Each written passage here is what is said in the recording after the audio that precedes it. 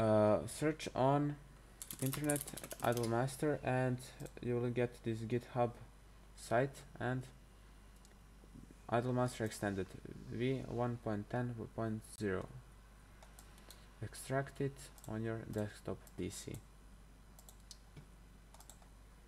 and unzip it. Put it here.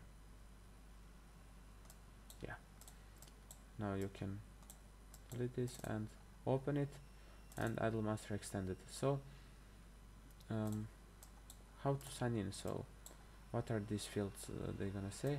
And I'm gonna show you but that is critical information which which can cost my account to get hacked. So I'm not gonna show you exactly my things but I'm gonna show you what to aim for so go to your steam profile right click and inspect element and go to application now I'm not gonna show um, so this steam uh, login secure that is first thing.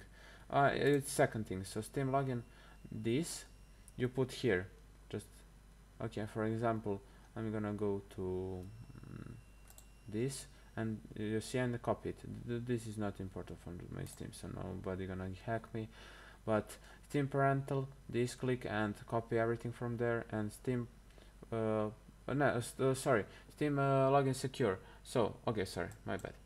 Wait i'm gonna show. So session id paste here. Uh, steam login secure um, steam login secure it's this thing.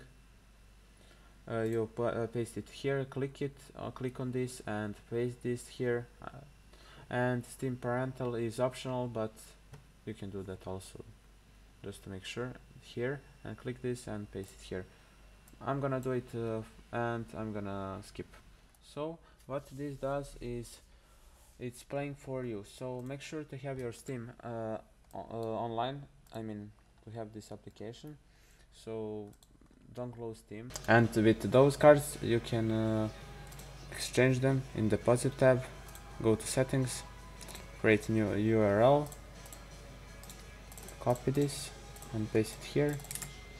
And all your uh, Steam trading cards will be shown here.